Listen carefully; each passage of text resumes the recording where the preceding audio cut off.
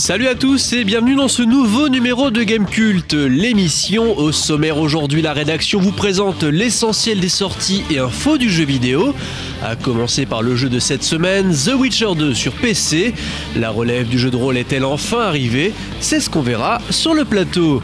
Également au programme toute l'actu du moment, mais aussi notre preview de Ghost Recon Online, le nouveau jeu multijoueur gratuit signé Ubisoft qui a été annoncé cette semaine. Que nous réserve donc l'éditeur pour ce futur jeu d'action tactique? Réponse dans l'émission. Toujours en avant-première, découvrez Docteur Lautrec sur 3DS, peut-être un prochain grand rival pour le professeur Layton de Nintendo. Et pour conclure la minute du rédac chef, votre rendez-vous pour répondre à toutes vos questions sur les prochaines évolutions de Gamecult. Décryptage, info, coup de cœur, coup de gueule, le tout animé par l'imperturbable docteur Chocapic. Gamecult, l'émission, c'est parti. Bonjour et bienvenue à cette nouvelle émission de Game Cult. Alors cette semaine pour commencer nous recevons Boulapoir Yukishiro et l'héroïque Kirik qui va donc euh, nous parler euh, de The Witcher 2. C'est juste après cette petite vidéo.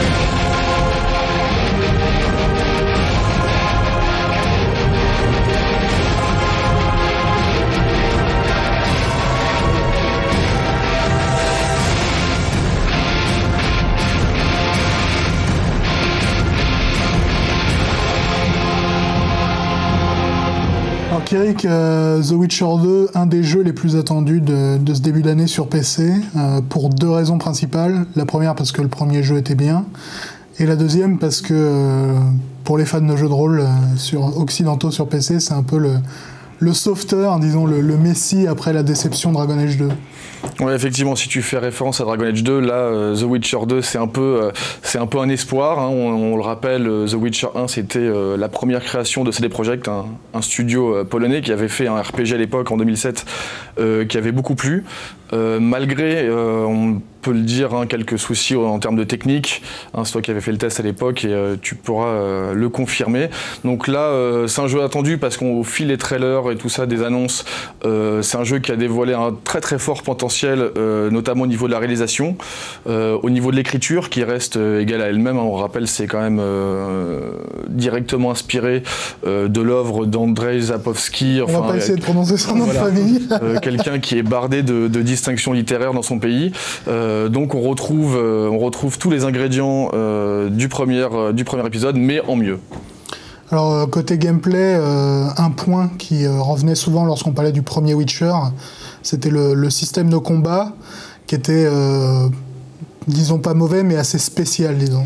C'est-à-dire que dans le premier épisode, on avait euh, ce, ce système un peu de, de combo en rythme, en fait, de, de, de touches qu'il fallait appuyer au bon moment pour euh, réaliser ces combos. Si on appuyait trop tard ou trop tôt, euh, on foirait son enchaînement et on se prenait un gros revers dans la tronche. Donc effectivement, euh, ils avaient annoncé ça comme un, comme un système de combat un peu révolutionnaire. Euh, bon, euh, ça restera à l'appréciation de chacun. fans. Euh, voilà, là pour le deuxième épisode, ils ont décidé de faire un truc un petit peu plus simple, un petit peu plus intuitif, euh, un peu plus un peu plus bourrin peut-être mm, oui et non. C'est-à-dire que euh, on est plus libre dans ses actions. Vaut mieux parce que là on a affaire à quand même beaucoup plus d'ennemis euh, en même temps.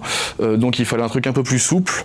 Euh, donc euh, là on va retrouver ce système un peu euh, on appuie on fait des enchaînements mais euh, on va mettre l'accent beaucoup sur la parade beaucoup sur les esquives euh, les enchaînements deux coups d'épée un coup de, de signe. C'est un peu les, les pouvoirs magiques de, hein. ce bon de ce bon Gérald Bah, mon souvenir, c'était un, truc un petit peu à la Batman, enfin comme Arkham Asylum, c'est-à-dire que tu avais possibilité d'attaquer des ennemis un peu qui, arrivaient derrière toi, de faire des enchaînements, je des esquives, les contre. Proche de, Arkham il, y avait, il y avait un petit côté comme ça. Je sais que, enfin, les développeurs en tout cas, quand je les avais rencontrés à un press tour Namco, il disait euh, il y avait il y avait ce petit côté un peu euh, mm, ouais, un petit peu inspiré. J'ai pas vraiment retrouvé le. j'ai pas trop, euh, je, sans vouloir te contredire, mais, j'ai pas trop retrouvé ça. Moi, j'ai retrouvé un truc alors au risque de faire hurler les gens, euh, un petit peu plus, euh, un petit peu plus beat'em all, mm. c'est-à-dire que euh, bon, là on a vraiment plus d'ennemis qui arrivent, donc on les gère un peu plus comme ça vient, avec voilà. Mais ce qui est pas mal, c'est que comme on peut le voir, je sais pas si on le voit sur les images, c'est plus libre, plus intuitif, plus plus facile à manier aussi. Plus classique mais plus, efficace. Plus classique mais plus dynamique. Voilà, les combats ont vraiment gagné, ont vraiment gagné en pêche vraiment gagné en, punch, en intérêt, euh, parce que c'est vrai que euh, malgré euh, leur système de combat soi-disant révolutionnaire dans le premier volet, moi j'avais tendance à trouver les combats un petit peu, un petit peu longués, un petit peu pénibles parfois, quoi, et pas forcément très passionnants. Alors, puisqu'on passe pas notre temps qu'à se battre dans The Witcher, on discute aussi. comment ça se passe, tout ce qui est niveau interaction avec les PNJ, tout ça? Est-ce qu'il y a du nouveau ou est-ce que c'est juste du classique une fois de plus? Bah, euh, C'est du classique. Ça reste un petit peu classique comme le premier épisode. Maintenant, voilà, c'était du classique de haute volée déjà, euh, déjà à l'époque. Donc là, on retrouve effectivement euh, des environnements qui sont toujours cloisonnés, mais qui fourmillent d'interactions, notamment des villes où vraiment là, on a donc le cycle jour-nuit qui, est bien, qui est bien reproduit. On a plein d'habitants qui, vont qui vont te haranguer dans la rue. On a des marchands qui vont discuter entre eux. on a, on a des ivrognes qui vont se battre devant l'auberge. Enfin, vraiment, c'est un monde qui est hyper vivant.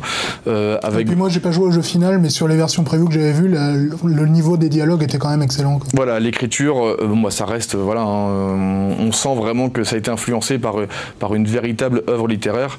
Donc, on a vraiment des dialogues qui sont très bien écrits. On a euh, une trame qui est vraiment, qui est vraiment bien construite avec des rebondissements qui se passe dans un univers toujours aussi mature, qui aborde des sujets vraiment, vraiment vraiment, profond.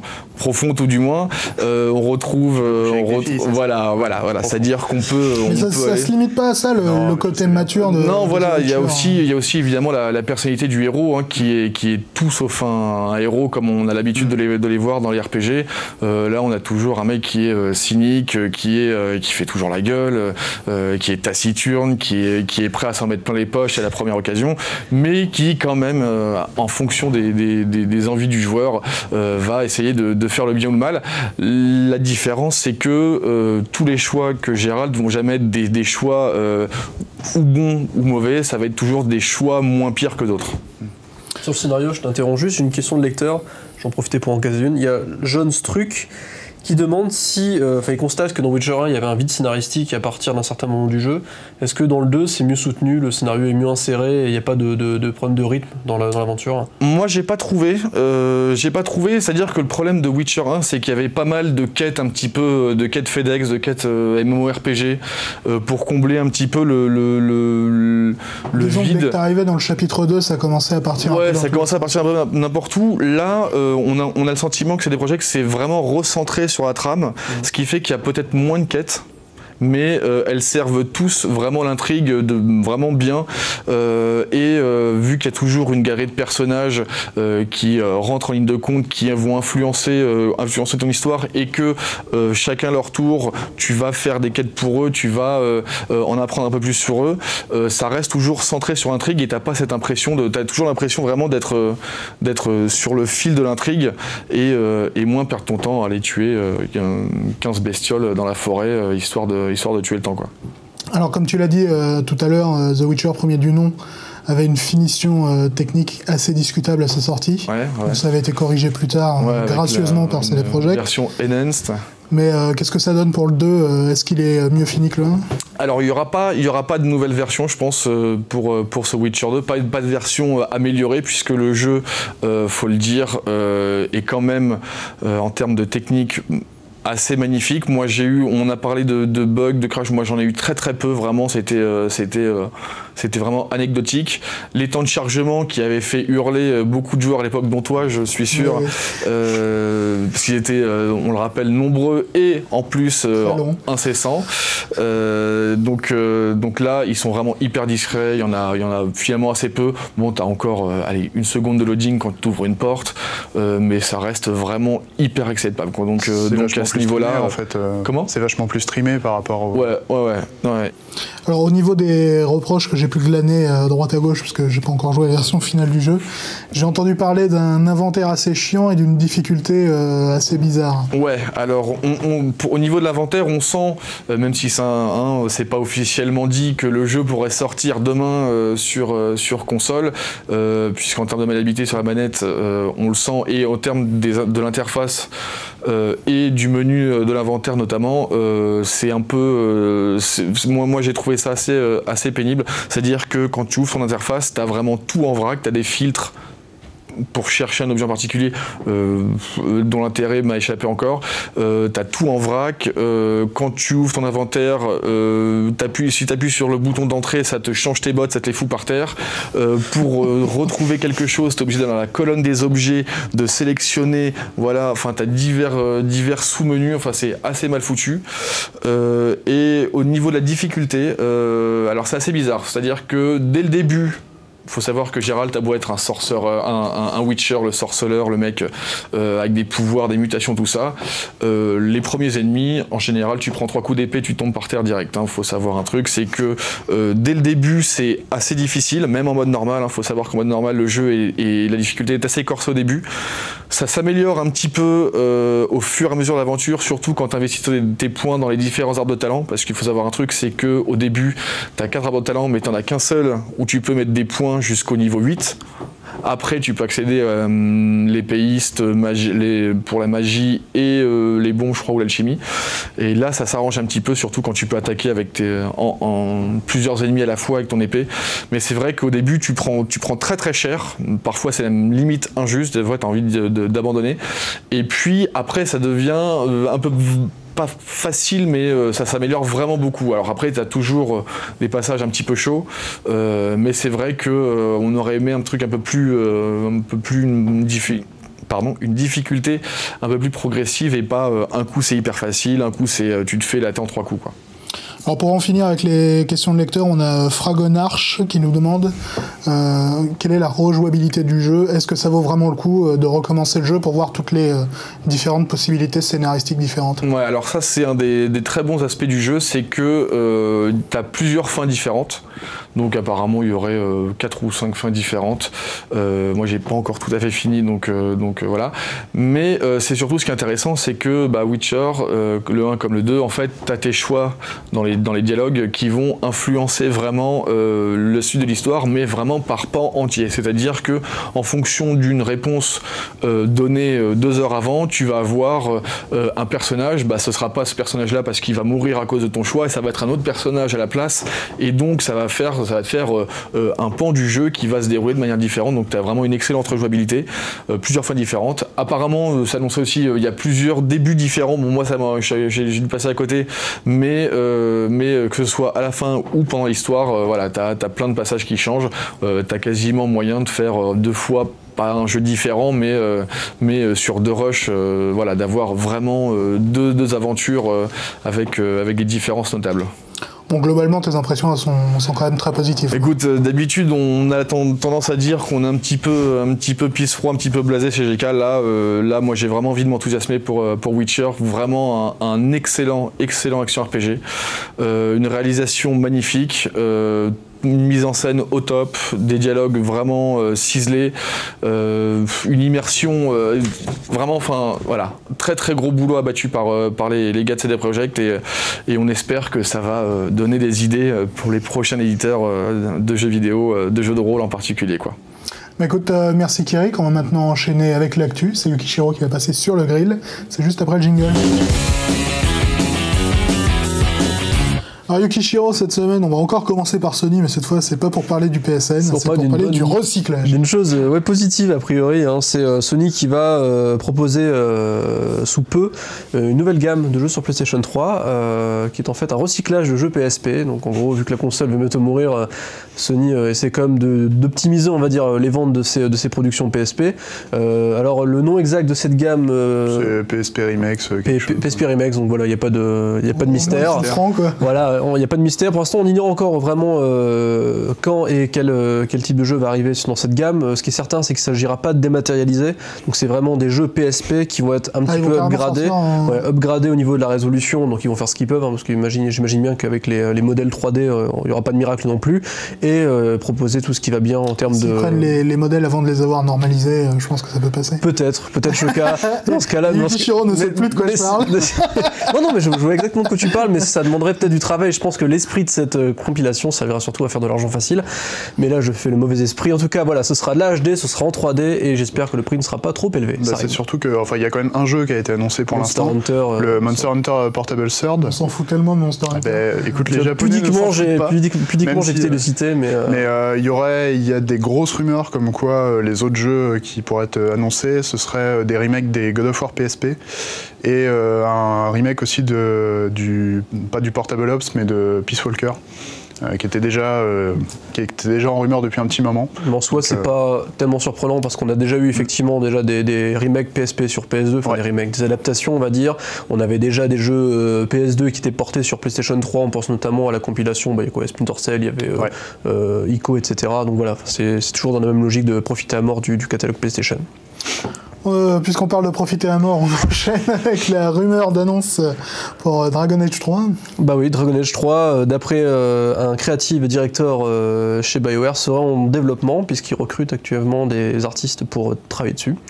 Euh, et là-dessus, j'ai pas forcément de commentaires à faire. je, pensais que tu allais faire un troll, donc c'est pour ça que je m'attendais à, quelque chose de particulier. On espère juste qu'ils prendront le temps de bien le faire, puisque on se souvient que BioWare a aussi invoqué le, manque de temps pour, pour faire bah, Dragon Age 2, et que bah, ce sera un peu plus réussi et moins décevant que, le deuxième épisode, même si, comme tu as souligné, les ventes n'étaient pas si mauvaises que ça, donc euh, c'est pas forcément, c'est pas forcément très encourageant, mais on espère en tout cas qu'ils sont écoutés les fans.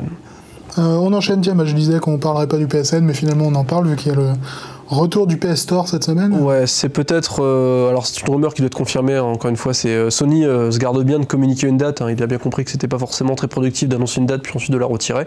donc, on, l'a déjà dit, hein, le PSN qui était down est revenu, mais pas encore le PlayStation Store. Donc, on peut toujours pas acheter de jeu. mais les rumeurs indiquent que ça va revenir le 24 mai. Comme quelque chose me dit qu'en ce moment, tout le monde n'essaye pas d'acheter des jeux sur le PSN. Je sais pas pourquoi. Écoute, je te laisserai faire ce commentaire. je ne vais pas y répondre. En tout cas, ce qui est sûr, voilà, c'est que euh, il est crucial pour Sony de tout remettre à flot avant le 3. Euh, donc euh, ce serait, je pense, cette semaine que, reviendra le PS Store avec un, comment dire, un calendrier de, sortie de jeux un petit peu adapté. C'est-à-dire qu'au lieu de les avoir tous les semaines, on, les aurait tous les 3 jours afin de, rattraper, le retard. Une autre annonce, alors celle-ci je sens qu'elle t'intéresse encore plus que l'autre, c'est Arma 3. Je suis maître du sujet. Arma 3, euh, qui a été annoncé. Alors euh, Shoka, tu maîtrises mieux l'information que moi puisque c'est toi qui as fait la news. Euh, pour l'instant, il n'y a pas énormément de, nouveautés qui ont été annoncées. Hein. On sait juste que on pourra comme d'habitude piloter tout un, toute une gamme de vaisseaux, qu'on pourra...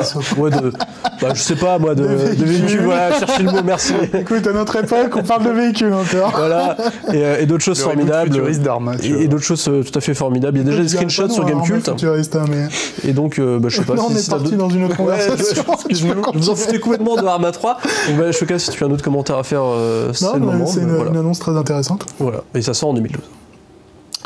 Euh, bah, on va reparler d'une autre console en fin de vie, c'est la Wii, qui baisse enfin de prix. Ouais, la Wii. Euh, alors, bah, c'est toujours délicat de parler du prix de la Wii parce que Nintendo maintenant, je sais pas si tu sais, Shoka, ils, ne communiquent plus sur les prix, donc ils annoncent pas que la Wii baisse de prix, mais ils ont sorti. Euh, légende après l'annonce de la 3DS. C'est ça. Donc en gros, ils ont ils ont juste annoncé un nouveau bundle qui est déjà en, circulation. C'est un bundle la Wii plus Mario Kart plus un volant, et ils ont mis dans le communiqué, il devrait être proposé à un prix inférieur. Sous-entendu, on a baissé le prix avant de la distribution, mais la distribution fait ce qu'elle veut. donc euh, on peut déjà constater maintenant, si on va sur Amazon.fr, Fnac.com, ce genre de choses, qu'on peut désormais trouver la Wii à 150 euros à peu près. Donc c'est il y, a différentes gammes de, Wii. Il y a une Wii blanche, Wii noire avec Wii Sport, Wii Sport Resort ou Mario Kart. On peut, on peut un peu prendre le, jeu qu'on veut. Bon, ces jeux-là sont déjà vendus à des millions, à des millions d'exemplaires. Donc c'est, ce sera difficile de trouver des nouveaux acheteurs pour ces jeux-là. En tout cas, toujours est-il que Nintendo a apparemment baissé ses prix à la distribution et ça va avec une autre gamme de jeux qui s'appelle classique, je crois. oui, oui, classique. Et donc en gros, c'est des jeux qui seront aussi vendus à prix doux, mais malheureusement, comme Nintendo n'annonce pas maintenant euh, désormais le, prix de ces jeux, eh ben, on ne peut pas trop, trop spéculer, mais a priori, ce serait une vingtaine d'euros. Voilà.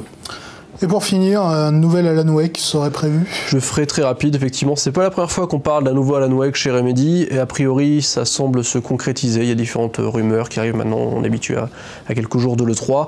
Euh, cet épisode de Alan Wake ne serait pas un épisode sur DVD, puisque ce serait un épisode sur Blu-ray, euh, sur Blu-ray, n'importe quoi. Euh, en téléchargement, faut arrêter la drogue avant l'émission, je sais. En téléchargement sur Xbox Live, et donc ce qui nous fera peut-être dire que ce sera un épisode un peu plus léger, qui arrivera peut-être un peu plus vite. mais ça tout ça. dur à nous faire plus vite en même temps. Hein. Voilà, c'est sûr. Et donc euh, ça arrivera, euh, on ne sait pas quand, mais euh, le 3 aura peut-être toute une réponse pour nous. Voilà, exactement. Bah écoute, merci Yuki. Je vais maintenant enchaîner avec le jeu de boule à poire qui est Docteur Le Trek et les Chevaliers oubliés, il me semble, dont il va nous parler juste après cette vidéo.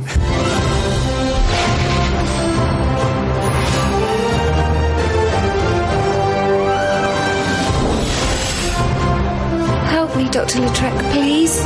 You see, she has a puzzle that only you can solve. You enjoy such things, no? There's someone who'd like to meet you. Come along. We are the Knights of the Iron Mask, the rightful servants of the royal family. The power of logic will bring any and all truths to light. No mystery is unsolvable. This is too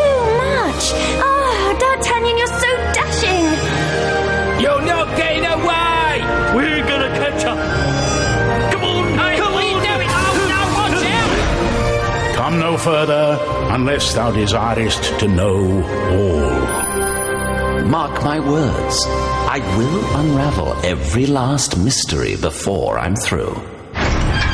Alors Boule à poire, euh, grand classique des previews de jeux euh, dans l'émission de Gamecult. Oui. C'est quoi le Trek? C'est quoi le Trek? Alors euh, au départ, on a pensé euh, à raison pour une certaine partie que c'était euh, un méchant clone de Professeur Layton. En même temps, il faut dire que le casting, les trailers et tout ça donnent franchement. Ça, ça aidait pas. C'était un jeu un peu réflexion énigme avec euh, un professeur, enfin un docteur pour le coup, et son assistante Sophie Coubertin. donc, et en fait, c'est plutôt un jeu d'aventure, exploration, réflexion. C'est-à-dire que euh, tu as des parties euh, énigmes où tu vas avoir euh, des petits, des petits puzzles à reconstruire dans la veine de Letton avec un système d'indices comme dans Letton, tu as trois essais si tu si vraiment pas, il te file un petit indice. Euh, par contre, euh, il y a une bonne partie du jeu où tu vas euh, te balader dans des souterrains. En fait, le jeu commence, donc la partie qu'on a pu voir, c'est vraiment le tout début du jeu, ça commence dans les arènes d'Arles. Et du coup, tu, te retrouves dans les sous-sols à la recherche des trésors habités. en français dans le texte, même dans la version japonaise, je te laisse imaginer ce que ça donne avec l'accent. Et grosso modo, toute cette partie-là, c'est à mi-chemin entre Metal Gear euh, Boktai et euh, Pokémon Yu-Gi-Oh! Alors là, tout de suite, tu te dis qu'est-ce que c'est carrefour. Qu'est-ce que c'est que ce bordel? Euh, bah, Grosso modo, tu as des phases réalisées en 3D avec une vue euh, isométrique où euh, tu vas devoir euh, éviter des gardes qui font des patrouilles. Ça, c'est tout con. Tu ramasses des petits objets au passage jusqu'à ce que tu arrives au boss qui est en fait le trésor habité et que tu vas devoir combattre grâce à tous les objets que tu as ramassés tout au long du donjon. Donc comment ça se passe? Les combats, tu, peux lancer un, tu peux utiliser un objet par tour. Il y a des caractéristiques spécifiques, attaque-défense plus des attributs euh, élémentaires, euh, des choses comme ça. Et tu as une espèce de, de tableau, enfin plusieurs petites cases où tu peux placer tes objets et euh, en, fonction de l'objet, euh, en fonction de l'objet que tu placeras et de l'endroit où tu le placeras sur, ton, tableau de jeu, euh, ça aura des effets différents. Il y a des cases par exemple qui sont fissurées, donc il y aura 30% de moins d'efficacité sur les coups. Il y a des cases par contre qui sont mieux placées et qui tu gagneras un peu d'attaque ou de magie, enfin des boosts comme ça. Et le but du jeu, euh, pendant ces combats, c'est pas de tuer l'adversaire, euh, c'est de le capturer, parce qu'évidemment c'est un trésor et il faut pas le, il faut pas l'abîmer Là, tu complètement. sors ta Pokéball. Donc là, tu as une petite jauge euh, en dessous de la- en dessous de, de l'ennemi, et il faut que tu arrives à la faire descendre euh, dans une zone euh, bleue, si je me souviens bien, en sachant que de l'autre côté, tu as une zone rouge où euh, l'ennemi, euh, si, tu, le laisses trop t'attaquer, euh, d'après ce que j'ai compris, il va aller plus de ce côté et il va passer en mode je suis vénère et il va pouvoir te mettre une race. Donc le principe, c'est ça, c'est de collecter tous les trésors habités dans les sous-sols de Paris. Alors comme on l'a dit, euh, lorsque tu as présenté le jeu, il y a aussi tout l'aspect euh, vidéo et tout ça euh, pour le jeu. Tout ça, c'est quand même assez classe. La réalisation est plutôt C'est plutôt pas mal. Alors ça, ça a un peu de mal à tenir la comparaison avec les productions de Level 5 parce que c'est vrai, eux, ils ont un petit peu pris d'avance de ce côté-là. Mais c'est très très correct. La bonne surprise, c'est que euh, 90% des dialogues sont doublés. Donc euh, en tout cas dans la version japonaise, j'espère que ça sera aussi le cas dans la version française, mais la version qu'on a vue, euh, t'avais des doublages euh, pratiquement tout le temps, à part pour euh, quelques petits euh, événements euh, mineurs. Mais euh, vraiment, euh, c'est il y a un travail de qualité, euh, les, les doubleurs sont bons. Et puis euh, bon, quand t'es euh, quand t'es français, enfin pour les japonais, ça doit être encore plus marrant, mais euh, voir euh, voir tous les personnages avec des noms géniaux tels que Dr Lautrec ou Jean-Marie Vidocq, qui est le, le bad guy de l'histoire. Il s'appelle C'est- Jean-Pierre Lautrec. il s'appelle Jean-Pierre Lautrec. Jean-Pierre exactement. Lautrec. Il s'appelle. Plus Jean-Pierre, Jean-Claude, Jean-Michel. Il y en a- non, ils ont. enfin, il y a Jean et Paul qui Ouais. sont un peu le duo comique du jeu et Mhm. qui sont joués par euh, un duo comique euh, japonais d'ailleurs. Mais euh, tous- tous les personnages ont vraiment euh, une personnalité euh, assez attachante. Alors, euh, j'ai pas, pas vu beaucoup beaucoup de trucs, mais euh, les scènes sont bien rythmées, euh, les cinématiques sont plutôt cool. Euh, Il y a un petit singe super marrant qui s'appelle Kiki. Voilà, c'était à noter. C'est pas- c'est- c'est comme Jean et Paul, mais pour les singes, en fait. Exactement. C'est Kiki peu et Cheetah, l'équivalent, euh, ethnique. Donc, euh, ça, ça s'annonce plutôt pas mal. Alors, c'est un jeu 3DS, Alors oui, c'est un jeu 3DS. donc il y a forcément la question. Alors en sachant que euh, le Konami s'en cache pas, euh, c'était un jeu DS à la base. Et, euh, Voilà, donc la 3D sert à rien, on peut le dire. Quoi. voilà. Franchement, enfin, je l'ai, mise pendant la démonstration pour voir ce que ça donnait. Les phases en 3D sont pas super belles. Il n'y a pas, y a pas vraiment beaucoup de détails. C'est, c'est là que ça pêche un petit peu. Peut-être que ça s'améliorera un peu au, au fil de l'aventure, mais bon, les déplacements en 3D sont et les modélisations sont assez sommaires. Euh, même quand tu, le, truc qui est sympa, c'est quand tu, peux te déplacer dans tout Paris en fait. Donc évidemment, tu vas très très vite parce que ton personnage est, de taille euh, énorme sur, sur la carte. Donc tu peux te balader à Rochechouart, à Ménilmontant, euh, comme tu veux. Tu, découvres tous les lieux de Paris au 19e siècle pour le coup. Et mais ouais, s'il y avait un reproche à faire, c'est la 3D pas terrible, alors que toutes, les, toutes les phases 2D et les portraits sont plutôt cool. On va maintenant passer à notre seconde preview de la semaine, Ghost Recon Online, dont je vais vous parler juste après ça.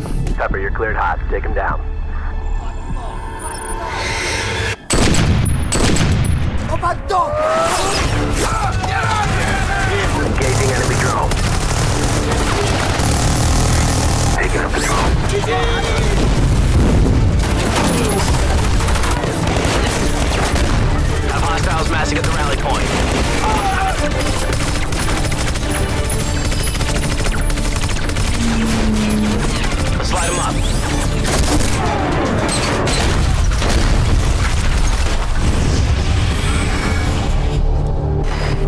up.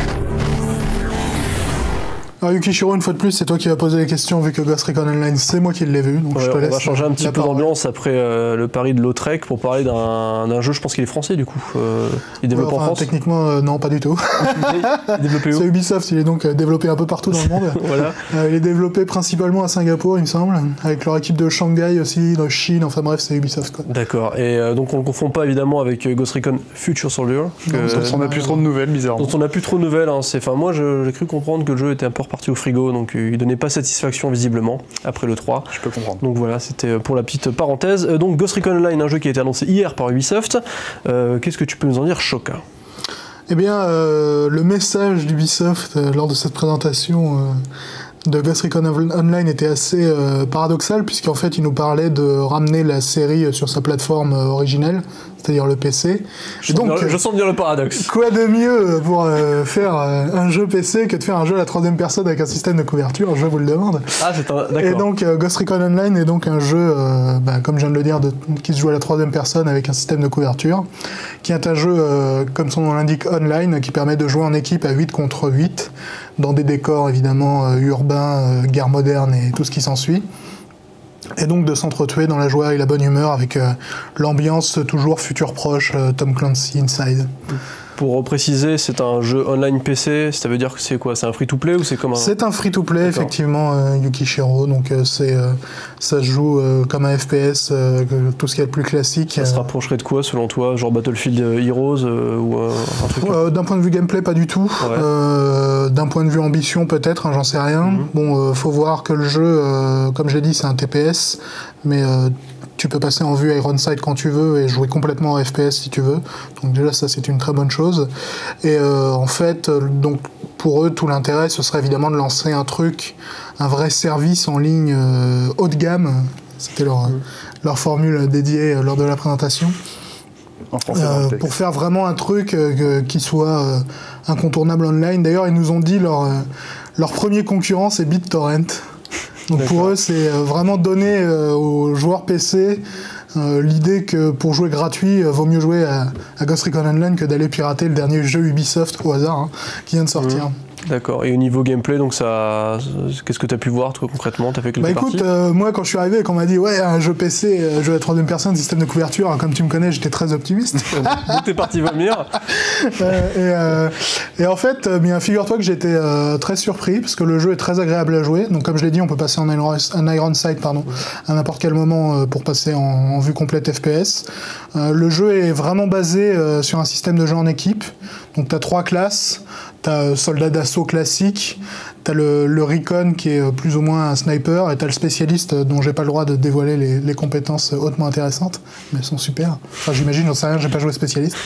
Et en fait, euh, tout le système du jeu s'organise autour du fait que chaque classe a une compétence passive. euh, qui est étendue à leurs collègues lorsqu'ils sont proches.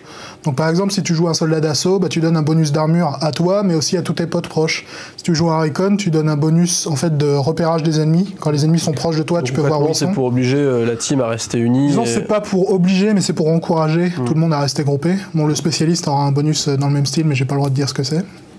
Il distribue des barbes à papa à tout le monde. Et, euh, donc oui, euh, t'es es vraiment encouragé à, à progresser en groupe, d'autant plus que euh, sur le- la carte que l'on a jouée, c'était vraiment un, un gameplay de front, c'est-à-dire fallait capturer des points, mais t'avançais vraiment en repoussant euh, une ligne de front ennemie, sachant que les décors étaient conçus d'une telle manière que t'avais vraiment plein de passages de partout, qui te permettaient quand même euh, de, de prendre l'ennemi à revers lorsque tout le monde était en, planqué dans une gare de, de tranchées, tu pouvais vraiment envoyer quelqu'un derrière et euh, finir tout le monde euh, au shotgun pour faire avancer le, conflit. Donc tu as, vraiment un gameplay quand même une certaine épaisseur. D'autant plus qu'en plus de, la compétence passive dont je viens de parler, ils ont aussi des compétences actives. Donc notamment euh, pour le soldat d'assaut, il avait un bouclier dans le dos.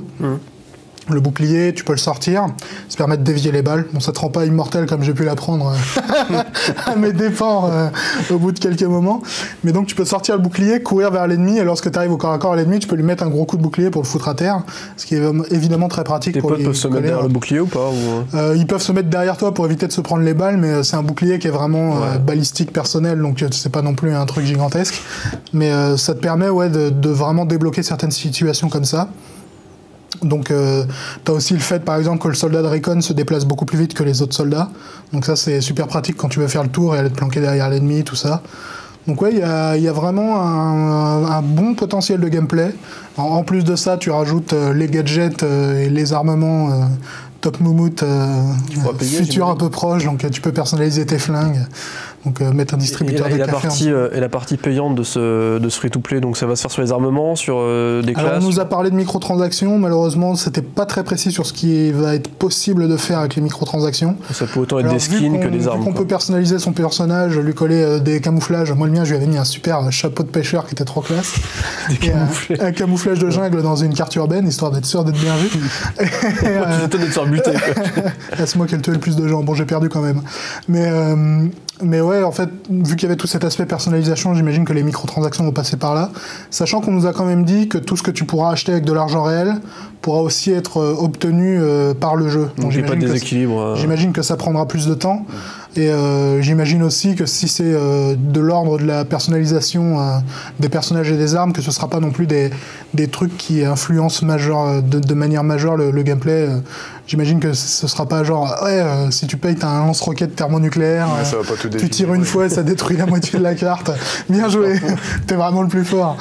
Mais euh, ouais, enfin, à ce niveau-là, faudra voir, euh, faudra voir lorsque le jeu arrivera, parce que c'est vrai que sur le contenu de la boutique, ils étaient encore assez, euh, assez euh, vagues les, les développeurs. C'est marrant ce que tu dis parce que, enfin, pour toute la description du gameplay et notamment des compétences euh, qu'on peut partager, euh, si je me souviens bien, c'était un truc qu'il y avait dans le multi de euh, Future Soldier, qui Quoi, était. tu euh, voudrais dire qu'ils ont pris le multi de Future Soldier pour en faire un jeu à part en virant le solo de Future Soldier Bah, ça- Ah, Pour la je peux pas te permettre de dire Ça ça. ressemble méchamment. hein. Écoute, y a- y a- ils ont sûrement peaufiné derrière, mais euh, c'était vraiment ça, le, le- le- tout le côté multi. On peut partager les compétences si tu restes suffisamment longtemps.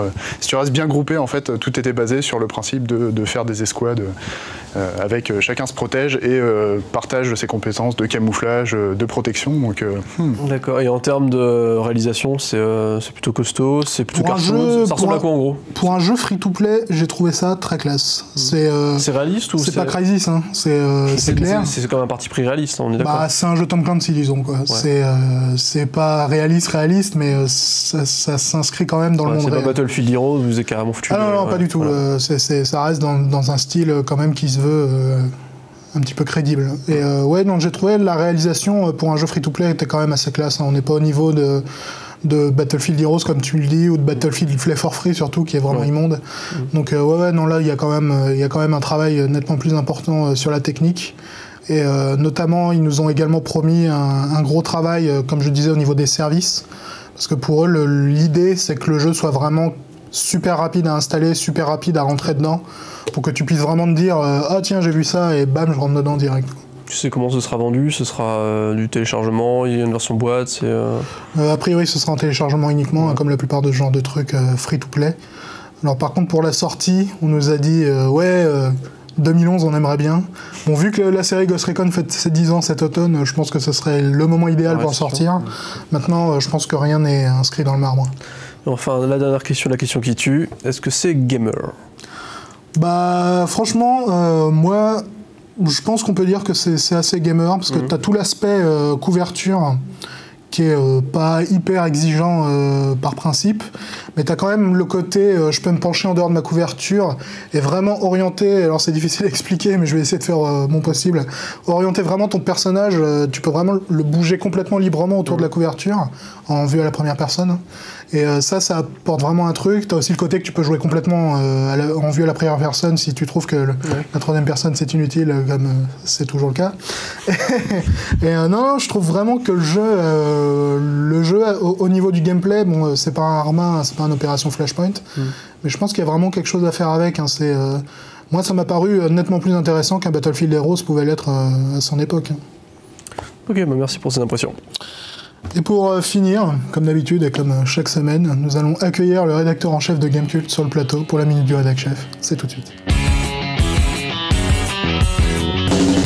Alors nous accueillons Pouet Chiche sur le plateau de l'émission. Alors Pouet Chiche, quoi de neuf sur Gamecult cette semaine écoute, beaucoup de choses, comme chaque semaine. Euh, certains, certains de nos participants, enfin les gagnants du, du concours des 10 ans, Il y a six mois. ont enfin reçu l'email, euh, les, pré- les prévenants, qu'ils allaient bientôt recevoir ça. Donc, Quelle enfin, classe Voilà. Euh, bon, on a mis un peu de temps. Hein, l'e- L'efficacité légendaire de Gamecube. Bon, je ne sais pas plier un t-shirt, c'est pas grave. Euh, donc, j'invite ceux qui n'ont pas encore euh, vérifié leurs emails de contact, enfin les gagnants en tout cas, euh, à le faire. Euh, et puis on pourra leur envoyer. Puis on a aussi, euh, on a aussi les sweatshirts, mais c'est Yuki qui, euh, qui va les C'est montrer. Maryse qui va nous les présenter. Voilà, le sweatshirt. Donc celui-là c'est un taille Yukishiro, Je sais même pas, attends, je vais te dire. réservé pour les Non, moins de non, 12 ans. c'est du XL. C'est du XL, donc t'inquiète pas, c'est pas la Taille petit, c'est du XL. Et le fameux t-shirt qu'on a vu à l'instant, mais en blanc. qu'on nous a invités à porter, mais on s'est- on s'est abstenu. Euh, donc voilà, ils sont, ils sont enfin prêts, ils vont enfin, enfin arriver chez nos gagnants. On n'a pas été d'une efficacité formidable sur le sujet, mais cette fois, ça y est, on, arrive au bout. Euh, et deuxième point, euh, vite fait, en fait, on a passé une annonce pour, pour annoncer qu'on recrutait un, développeur freelance. Euh, bah voilà, c'est fait, on a trouvé. Donc attendez-vous à des, à, la, à de la correction de bugs, à l'arrivée de nouvelles features. C'est le moment de retrouver le forum suggestion et d'aller euh, d'aller poster euh, des messages. Dans, dans- dans peu de temps. Voilà. On va pouvoir pourrir la vie d'un nouveau stagiaire. Euh, on va donc enchaîner sur les bonnes petites questions de lecteurs. Alors on va commencer par celle de Pois Chiche, qui a donc Toff the Gamer qui nous demande quand la gestion du premium sera-t-elle de nouveau disponible? Mais justement, en fait, il y a, à, la fois, la gestion du problème et puis même la gestion du compte en général. Par exemple, pouvoir changer d'adresse mail, ce qui peut être, ce qui peut être intéressant tout de même. Euh, on a bon espoir que ça avance bien plus vite avec, euh, avec ce nouveau développeur qui vient d'arriver. Il n'est pas encore arrivé, il en prend va regarder les va On va lui donner une to-do list, quand il va arriver, il va pleurer le pauvre. C'est tout l'intérêt du montage, c'est- c'est qu'à l'instant où l'émission sera diffusée, il sera arrivé. Voilà. Mais en effet, il arrive, il arrive demain en fait, dans la vraie vie. Alors une autre question de Chewy qui nous demande ah bah tiens elle est sympa celle-là est-ce que vous comptez continuer encore longtemps l'imposture de la minute du rédac chef qui je trouve est particulièrement chiante et toujours pauvre en informations Écoute, Chewy, c'est pour toi que nous la mettons à la fin de l'émission, comme ça tu peux la zapper facilement. Euh, non, mais après, c'est une, question- c'est une question légitime. Euh, Il y a des semaines, il y a des choses à dire, il y a des semaines, il n'y a pas grand chose à dire. Mais on a décidé de la faire, de la faire chaque semaine. Bah, Dites-nous dans les commentaires si, euh, si ça vous semble utile ou si vous, le- vous voulez l'avoir dégagé. Euh, On moins souvent en tout cas, peut-être. On l'a, en fait, on l'a introduite en début de, en début de saison avec d'autres, avec d'autres rubriques euh, comme le label Boule à poire. Euh, en fin de saison, donc dans pas très longtemps maintenant, fin juin, je crois. Ça. Putain, mais spoil pas la fin de la saison Il y aura d'ailleurs un gros cliffhanger à la fin de la saison, on dit pas ce que c'est. On, on étudiera euh, cette, cette, cette rubrique comme d'autres, on étudiera s'il faut la garder, s'il faut la remplacer par d'autres choses. Donc dites-nous. Mais euh, voilà, voilà. Nous avons l'Enfeust04 qui nous demande pourquoi n'êtes-vous jamais l'auteur de révélations ou d'avant-premières comme la presse papier qui publie les toutes premières infos et images d'un nouveau titre Bah, écoute, je trouve la question un peu dure, surtout que nous avons Yuki Shiro sur le plateau, qui est le premier sur les, les news business et les révélations, révélations un peu crade, ouais. Si tu es un développeur français que tu vas couler, Yuki Shiro sera ravi de, de faire une news à ton sujet. Envoyez un mail. Non, Mais je, mais je pense qu'il euh, parlait des révélations, des avant-premières, des, des Game Informer Scoop. Euh, bah, on en fait peu parce que on- d'une part, à l'échelle de- du monde, nous, sommes, nous restons un petit média. Euh, donc c'est plutôt, euh, plutôt les, les Game Informer, etc., qui ont les- vraiment les grosses révélations choc. Et après, sur les exclus en règle générale, on va dire qu'on n'est pas très proactif sur le, sur le sujet, parce qu'une exclue, c'est. euh, enfin, une vraie exclue en tout cas. Donc, un jeu, un jeu en avant-première ou une info vraiment en avant-première, en règle générale, il y, y a une contrepartie. Euh, ça peut être une mise en avant particulière sur le site, ça peut être euh, des garanties en termes de, de coverage. Euh, et c'est des choses tout simplement que nous on fait pas. Donc voilà, d'autres le font, je crois qu'un peu tout le monde le fait. Nous on a décidé de pas le faire. Voilà, ça ne nous empêche pas d'avoir des exclus parfois, sous le manteau. Mais c'est vrai qu'on n'est pas forcément un interlocuteur avec lequel les éditeurs aiment, aiment travailler sur les exclus parce qu'on ne peut pas leur garantir quelque chose en retour euh, en termes de mise en avant, ce genre de choses. Mais écoute, merci Pois Chiche. On va maintenant conclure cette émission. Une fois n'est pas coutume, nous avons un jeu à offrir et un bon jeu. Un bon jeu. Donc c'est encore Une plus exceptionnel. Donc une fois que j'aurai fini de raconter n'importe quoi, il y aura une question qui apparaîtra quelque part sur votre écran pour gagner un exemplaire de Mortal Kombat, le très bon Mortal Kombat. Et voilà, c'est tout pour cette fois. Ciao à tous. Si vous avez bien suivi l'émission du jour, répondez à la question suivante et tentez de gagner 3 exemplaires de Mortal Kombat sur Xbox 360. Ghost Recon Online n'est pas le seul épisode de la série officiellement en développement chez Ubisoft. L'autre s'appelle Ghost Recon Ultimate, Ghost Recon Future Soldier, Ghost Recon et les lapins crétins. Vous avez la réponse, rendez-vous sur la page suivante pour tenter de gagner votre jeu. Bonne chance à tous.